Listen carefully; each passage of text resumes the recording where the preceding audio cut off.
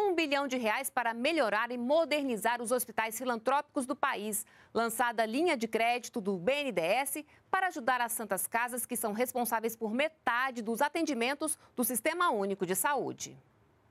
Acessível e com bom atendimento, características que fazem a diferença quando o assunto é saúde. A gente consegue um atendimento de qualidade, com bons médicos. É muito bom. Fui muito bem tratada, eles resolveram meu problema, descobriram o que, é que eu tinha. Responsáveis por mais da metade dos atendimentos e dos procedimentos de média e alta complexidade Feitos no Sistema Único de Saúde, os hospitais filantrópicos, como as Santas Casas, contam agora com uma linha de crédito de um bilhão de reais do BNDES, com taxa de juros abaixo da cobrada pelo mercado. É uma oportunidade de ter empréstimos de 12 até 18 anos, dependendo do, uh, do componente desse empréstimo, a taxas de juros é, muito competitivas. Se você pagava 100 mil de juros, você vai pagar 50. Vai sobrar um recurso a mais no fluxo de caixa para Santas Casas poder respirar. O recurso poderá ser usado de duas maneiras: para melhorar a gestão e para ampliar e modernizar as unidades.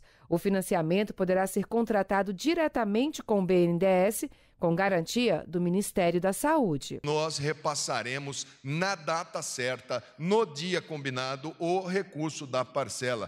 Em 2018, as entidades filantrópicas de saúde ofereceram aos pacientes da rede pública quase 129 mil leitos. Atualmente, há 2.147 hospitais do tipo que prestam serviços ao SUS. Em quase mil municípios, as Santas Casas são a única assistência hospitalar disponível. No discurso, na cerimônia de anúncio da linha de crédito, o presidente Jair Bolsonaro lembrou que foi atendido em uma Santa Casa em setembro do ano passado, quando sofreu um atentado, e destacou o novo papel do BNDES. A nova política, onde eu converso com o Paulo Guedes ele conversa com o Levi e não tem intermediário entre nós. E assim sendo, a gente vai construindo o Brasil, a gente vai dando esperança, vai demonstrando que se todos se sacrificarem um pouquinho, o Brasil fica melhor para todo mundo.